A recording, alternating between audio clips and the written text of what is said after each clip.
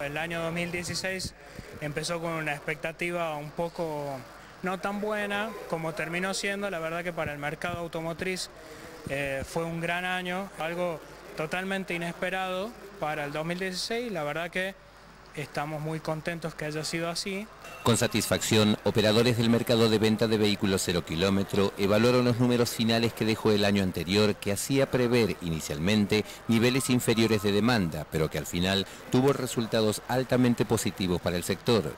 Buena parte de este logro se habría basado en las estrategias de facilidades y financiamientos de las distintas marcas. Primero, yo creo que ha habido un cambio de estrategia de precio de las marcas, de las terminales en general, este, también ha habido mucho aporte de los concesionarios este, y por otro lado también han estado este, nuevas eh, promociones de financiación, facilidades, incluso hasta para el mercado del usado también ha habido muchas facilidades en algún momento.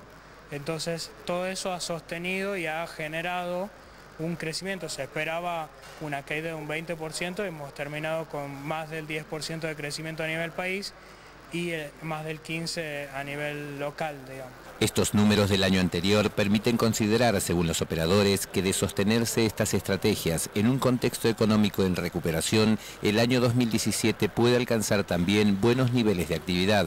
Que es una este, expectativa general de que el mercado se va a estabilizar más o menos en la situación en la que ha estado en el 2016 y los números van a ser más o menos similares a nivel país de 700.000 unidades aproximadamente y a nivel local de unas 20.000 aproximadamente. También no va a haber tanto crecimiento como sucedió en el 2016, pero se va a sostener en, en lo que se generó en el 2016.